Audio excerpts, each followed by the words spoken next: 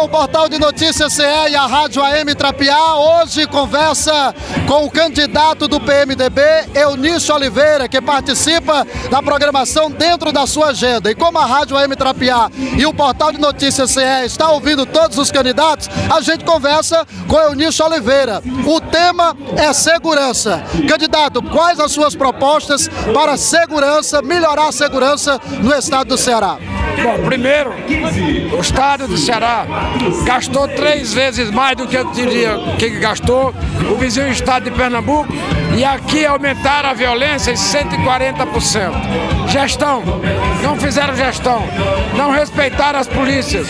Nós temos duas polícias, criaram uma terceira polícia dentro da polícia, desmantelaram a polícia. Então nós vamos reordenar as polícias, primeiro ponto.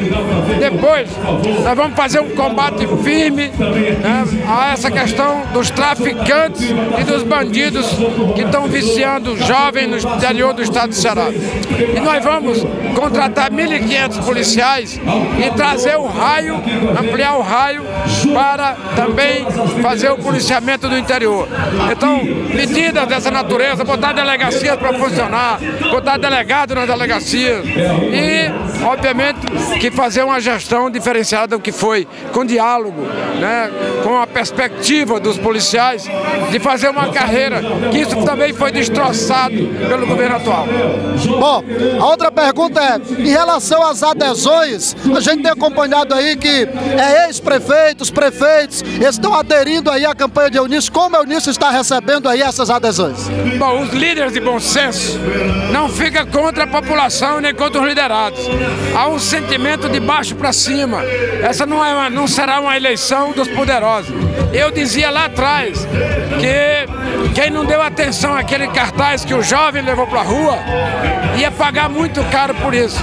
E eu estou vendo, eu estou andando nas ruas, há um sentimento de mudança, né? mudança de comportamento, porque as prioridades foram invertidas. Nós estamos no estado seco, por um ano de seca, com a perspectiva de seca, e a única obra de recursos feita no Ceará é um aquário, lá em Fortaleza, que estão gastando um bilhão de reais. Não há uma obra no interior do estado, eu estou andando no interior todo, ouvindo as pessoas, e não encontrei uma única obra de recursos hídricos.